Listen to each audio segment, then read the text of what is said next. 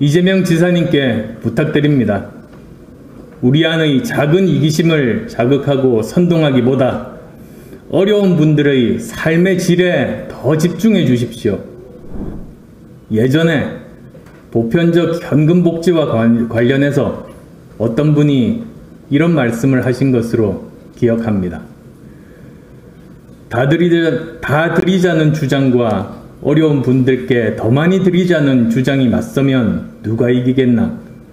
결국 다 주자는 사람이 이길 수밖에 없다.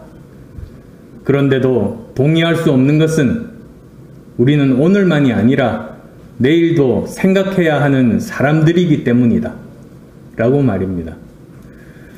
저도 정치적 이익만 생각하면 다 드리자, 더 많이 드리자고 말하는 것이 편할 겁니다. 하지만 저는 양심상 그렇게 못하겠습니다. 모두에게 다 주자는 주장은 우리 아이들의 미래를 걱정하고 대한민국의 앞날을 걱정하는 건전한 시민들의 마음 한구석에 있는 보상심리와 이기심을 자극하는 유혹의 속삭임이라는 것을 알기 때문입니다. 오직 농사를 포기한 농사꾼만이 겨울 동안 소를 잡아먹습니다. 이재명 지사님은 국민들이 가난보다 불공정에 더 분노한다고 말씀하셨습니다. 맞는 말씀입니다. 하지만 10만원 받고 안 받고 이전에 더 크게 분노하고 있는 불공정이 만연합니다. 만원 지하철에 시달리고 하루 종일 상사 눈치 보며 힘들게 벌어서 받은 월급, 그 월급으로 낸 세금이 나보다 어려운 사람을 위해 쓰여지는 확신이 없는 것, 그것이 불공정입니다. 철마다 멀쩡한 보도블록 깨고 셀프 심사로 보조금 타먹으며 혈세 낭비하는 부정과 비리가 판치는 것, 그것이 불공정입니다.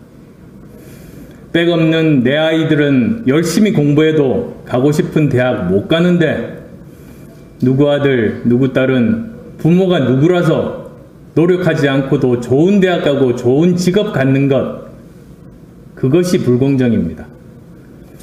지금 우리가 해야 할 일은 다 드리자, 구분해서 드리자고 두고 논쟁하기 이전에 힘없는 국민들에게서 희망을 뺏는 이런 거대한 반칙과 특, 특권, 불공정을 타파하는 일입니다. 이 정권 여러 핵심 인사들의 반칙과 특권, 불공정 행위에 대해 침묵하면서 불공정을 말씀하시는 것은 앞뒤가 맞지 않다고 생각합니다. 이재명 지사님께 부탁드립니다. 우리 안의 작은 이기심을 자극하고 선동하기보다 어려운 분들의 삶의 질에 더 집중해 주십시오.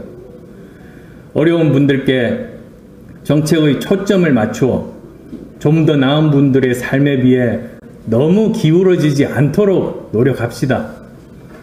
조금 나은 분들께 이해하고 참자고 함께 호소합시다. 세금을 내는 분들은 벌을 받는 것이 아니라 우리 공동체를 위해 공헌한다는 자부심을 느낄 수 있도록 만들어 갑시다. 각자 도생의 사다리가 아니라 모두가 같이 설 수 있는 튼튼한 디딤돌을 함께 만들어 갑시다.